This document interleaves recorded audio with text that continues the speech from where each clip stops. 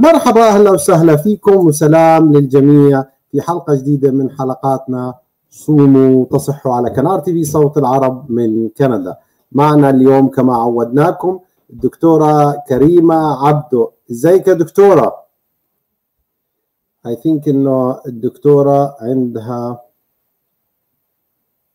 ديلي طبعا ال ال الحلقات الماضية اللي عملناها مع الدكتورة كريمة كانت حلقات أكثر من رائعة ومع الدكاترة الآخرين.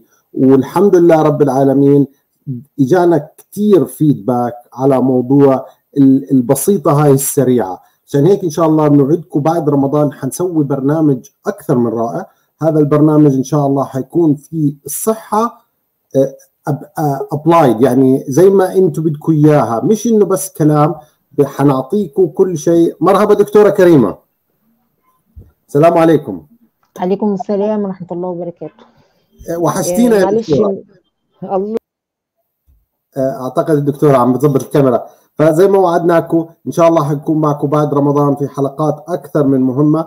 زي ما سمعتوا في الحلقات الماضية انه الدكتورة عاملة مسابقة فلازم تكونوا اونست مع أنفسكم ومعنا. عشان تدخلوا وتفوزوا بهاي المسابقة وجوائز الدكتورة كريم. أهلا وسهلا فيك دكتورة. أهلا بيك يا دكتور ازي حضرتك؟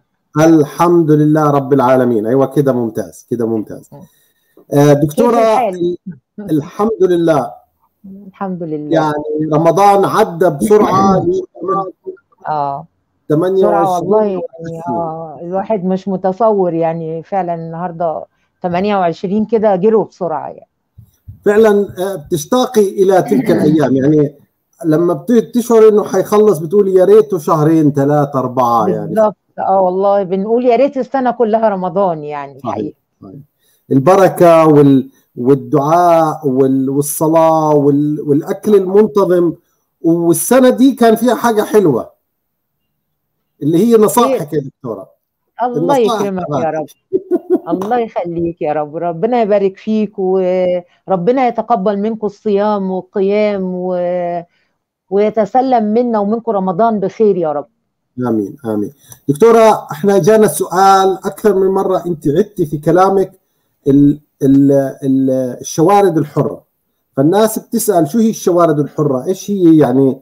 هل الاشي بتكسر في جسمنا؟ هل هاي الأشياء كويسة؟ هل الأشياء مضرة؟ فلو تشرح لنا عنها شوي. أوكي. آه مساء الخير الأول. يا رب يكون رمضان ماشي معاكم كده جميل ومبسوطين بيه وهو مبسوط بيكوا أهم حاجة. يعني مش أنتوا بس تنبسطوا بيه لازم كده نبقى حريصين إن رمضان يطلع يشهد لينا ما يشهدش علينا.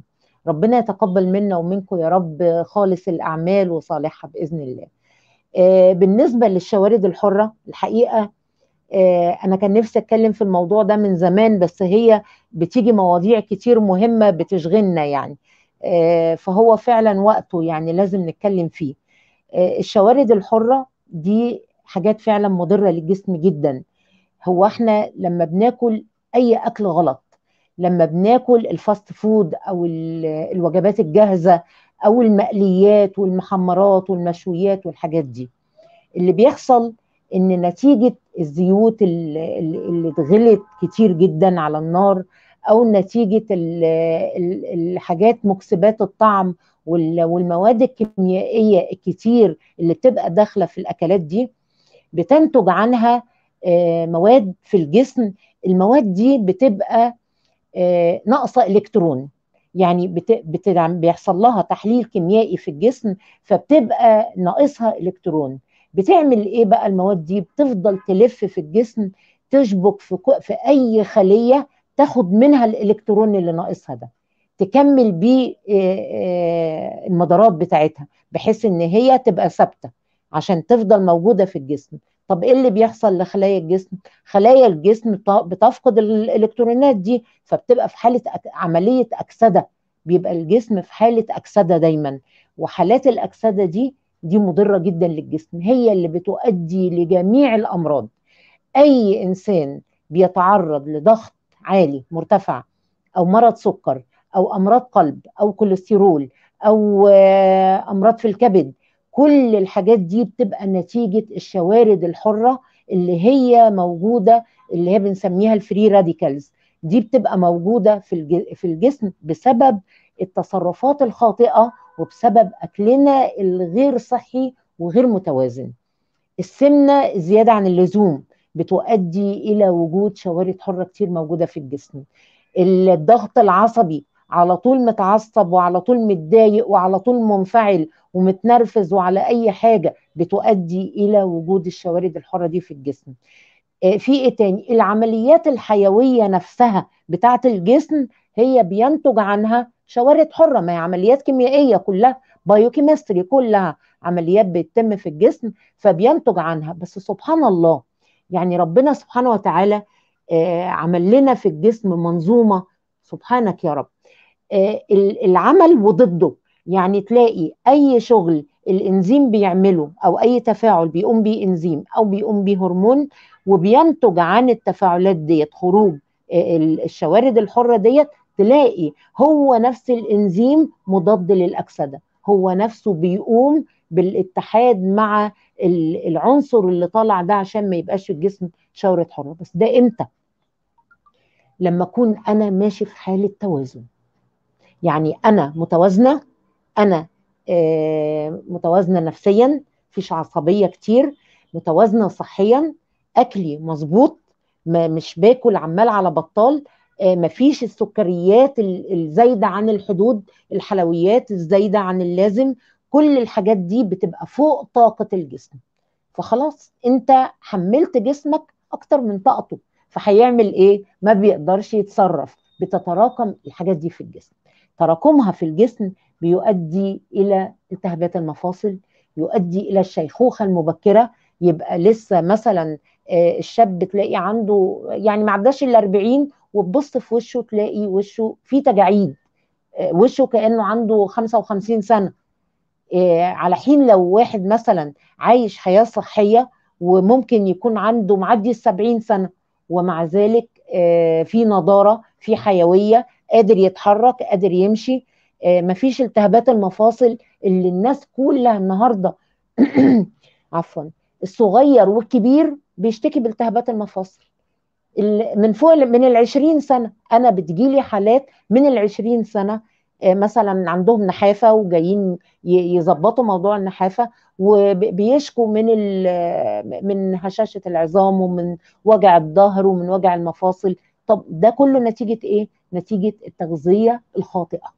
نتيجة سوء التغذية. إن أنا بتعامل مع جسمي مش فاهماه وبتعامل معاه بشكل خاطئ. طيب خش لنا بقى في الموضوع. عشان إيه يعني ما تعقديناش زيادة عن اللزوم وقول لنا نعمل إيه.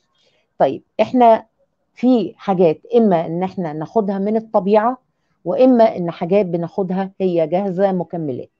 الحاجات اللي مت... إحنا دايما نحب الحاجة اللي من الطبيعة لأن زي ما قلنا قبل كده في حلقات سابقة إن دايما الحاجة اللي من الطبيعة وربنا خالقها بيحط لها توازن بيحط العنصر اللي أنا محتاجاه ومعاه العناصر اللي تساعده على إنه يدخل الجسم ويشتغل صح. خلاف لما باخد مكمل غذائي من بره.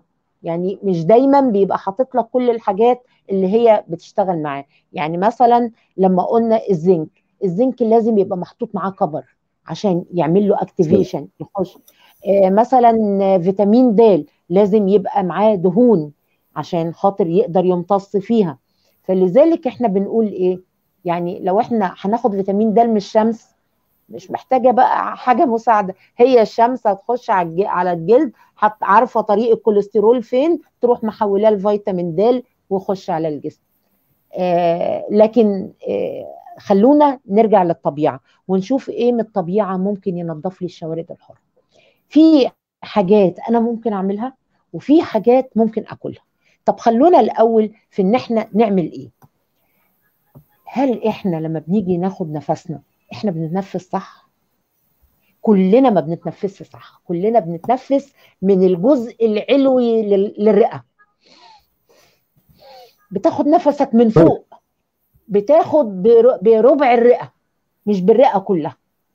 النفس الصح إن أنت تاخد نفس عميق تنتفخ فيه البطن جدا وبعد كده تحبسه شوية وتروح مخرجه.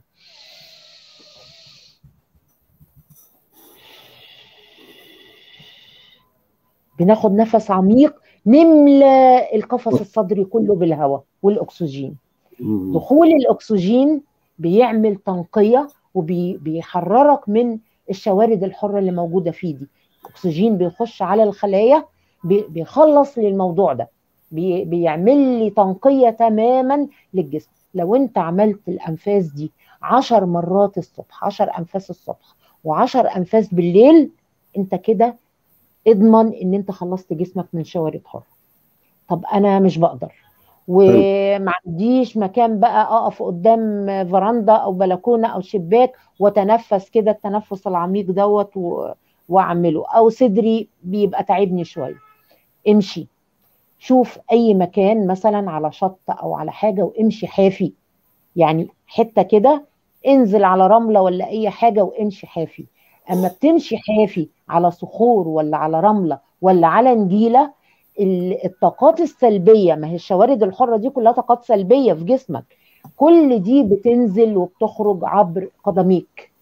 بتخلصك وبتكتسب طاقة إيجابية من الأرض بتطلع في جسمك تخلصك من كل الشوارد الحرة اللي موجودة في جسمك. طيب إيه تاني؟ لما قلنا على فيتامين د قلنا بيسبب لنا سعادة. لما بتقعد في الشمس وبيبقى عندك آه، بتاخد كمية من من ضوء الشمس وبيبقى عندك فيتامين دي بيحقق لك كده بتحس بروقان بتحس بسعادة. فعلا لأنه بيخلصك من كثير من الشوارد الحرة. ضوء الشمس لما تتعرض لضوء الشمس تلت ساعة في اليوم هتعمل لك يعني هتحس بإحساس غريب جدا. هتحس فعلا بنقاء. تحس إن جسمك آه، حر. في في حرية كده يعني مفيش حاجة متقلاه. فهو فعلا ضوء الشمس بي- بيخلصك من الشوارد الحرة. رياضة. أبسط أنواعها مش الرياضة العنيفة. الرياضة العنيفة بتزود الشوارد الحرة. لكن لو إحنا عملنا رياضة إيه أبسطها؟ المشي. ما انتش عارف تخرج وحد كبير في السن وما بيخرجش امشي في قلب البيت امشي في المكان امشي وانت واقف. في في في, في الأوضة بتاعتك في الحجرة بتاعتك في نفس المكان اعمل حركات المشي ارفع رجليك ونزلها حركات المشي وانت اللي هم بيسموه المشي في المكان. كل الحاجات دي بتخرج بتساعد على إخراج ال- ال free radicals دي من جسمك وبتحررك منها لأنها فعلا عملية شبكها في في الخلايا الجسم وشبكها ده ممكن يعني تشبك في الغدة الدرقية تسبب لك مشاكل كبيرة جدا. فعملية التحامها بال- بالخلايا وعشان تعمل لها أكسدة ال- الحاجات دي كلها بتأثر على جسمك بالأمراض. هنيجي بقى إيه للأكل؟ في منع وفي إيه؟ زي ما تعودنا حاجات ناخدها وحاجات نمتنع عنها. طبعا إحنا طول رمضان عمالين نقول نمتنع نمتنع نمتنع. هنا برضو عشان نتحرر من الشوارد الشوارد الحرة ونقضي عليها في أجسامنا لابد إن أنا أمتنع بقدر المستطاع. يعني في ناس ما بتقدرش ولكن بقدر المستطاع السكر. السكر أكتر حاجة بت- بترفع لك الاكسده في جسمك. آه الزيوت المهدرجة. الألوان الحاجات اللي بتحتوي على ألوان صناعية لأن دي كل دي مواد كيميائية بتدخل الجسم بتلخبط كيميائية الجسم. الحاجات اللي بتحتوي على مواد حافظة الحاجات اللي فيها منكهات طعم ولون وريحة كل الحاجات دي حاجات صناعية اسمها ادد ماتيريال حاجات مواد مضافة آه، بيضيفوها على المأكولات عشان تدي طعم وتدي ريحة وينفع تتباع. وتقعد مدة طويلة ما يحافظوا عليها. آه، كل دي بتخش جسمك للأسف أنت ما بتحافظش على جسمك لما بتتناولها. أنت كده بتضر جسمك وبتوصله يعني بت بتوصل للشيخوخة بدري بدري وبتوصل للأمراض بدري. آه، يعني العمر قدامك والصحة قدامك وأنت عليك تختار. يا تختار الصحة بإنك تتبع آه، النظم الصح يا إما بتختار ال- الشيخوخة بقى. وإنك يبقى لسه عندك حاجة و50 سنة وتقول تعبت ومش قادر مش قادر أطلع السلم مش قادر أنزل مش قادر أعمل مجهود فاشتري صحتك. طب إيه من ال- المأكولات اللي ممكن نستفيد بيه؟ كل الحاجات المأكولات الغذائية الملونة فيها مضادات للأكسدة. لأن إحنا اتفقنا إن الحاجات دي بتعمل أكسدة في الجسم. فأنا لازم أتحرر من الأكسدة دي. كل المواد الملونة في الخضار أو الفاكهة فيها مضادات أكسدة زي إيه؟ عندي التوتيات مجموعة التوتيات التوت الأحمر التوت الأزرق الفراولة الحاجات دي فيها كم مضادات أكسدة رهيب يعني أنت لو كل يوم عملت لك بس كده وجبة يعني كم حبة فراولة أو كم حبة توت الأزرق أو الأحمر ده كده يخلص جسمك من مواد المواد المؤكسدة أو الشوارد الحرة اللي موجودة في الجسم. آه عندي آه الحاجات اللي هي لونها orange الجزر لأن فيه beta carotene وما بيدخل الجسم بيعمل لي فيتامين A فيتامين A مضاد قوي جدا للأكسدة. يعني يا إما أخده في المأكولات يعني يا إما أخده أتناوله بقى فيتامين. عندي زيت الزيتون. قنبلة مواد مضادة للأكسدة. لازم كل يوم زي ما قلنا قبل كده طبق السلطة. عرفتوا ليه؟ أنا عمالة بشدد من أول رمضان على طبق السلطة علشان كل الخضروات اللي فيه وكنت ولو تفتكروا بتذاكروا ولا ما بتذاكروش هاتوا من الآخر. عشان لو ما بتذاكروش هدخلكوا دور تاني. صحيح. هنزود رمضان. هنجيب لكم رمضان تاني. أنتوا حرين. هنعيد الصيام. طبق السلطة زي ما قلت في الأول لا يقل عن خمس ألوان. يحتوي على الفلفل الأحمر الفلفل الأصفر الفلفل الأخضر الجرجير الكزبرة والشبت والحاجات الخضروات دي الجزر باللون ال orange بتاعه ال beta carotene البصل فص توم عليه عشان السيلينيوم. والسيلينيوم ده مهم جدا برضو مضاد اكسده حلو جدا. في إيه تاني؟ الكابوتشي أو الخس بكل الألوان بقى اللي موجودة فيه. وعليهم معلقة زيت الزيتون. زيت الزيتون ده مضاد قوي جدا للأكسدة. صدقوني لو أنتوا اتبعتوا قبل كل أكلة آخد طبق السلطة ده أنت هترجع شباب. يعني أنت هتشوف وهتلتمس ده في لون بشرتك وفي نعومتها وهتبص في شعرك. يعني هتحس إن الشعر ما بدأش يسقط.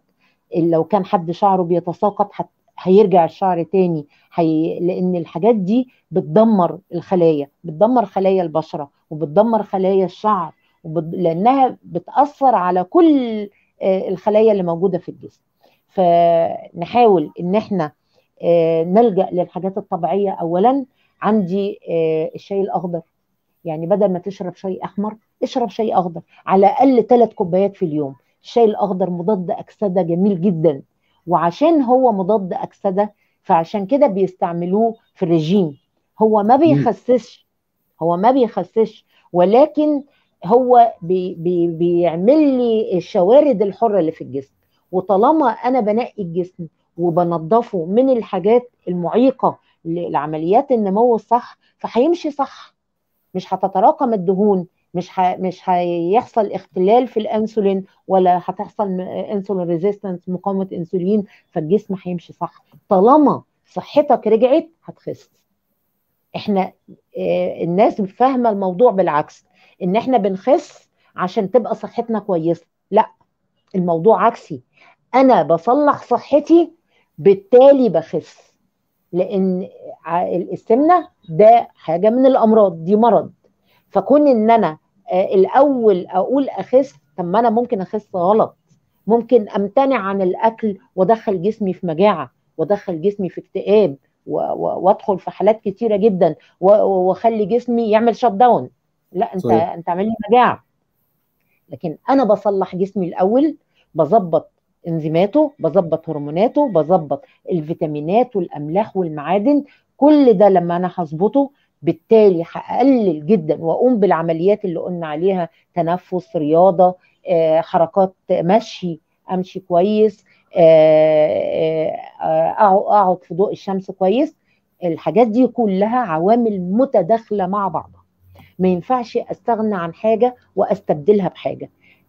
فوق, فوق كل ده بقى أنا ممكن أستعمل الحاجات اللي هي ال vitamins فيتامين A فيتامين E فيتامين C كل حاجة أكتر حاجة مضادة للأكسدة هو فيتامين C فأي حاجة بتحتوي على فيتامين C اعرف إن هي مضادة للأكسدة وبتحارب ال free radicals اللي موجودة أو الشوارد الحرة اللي موجودة في جسمك.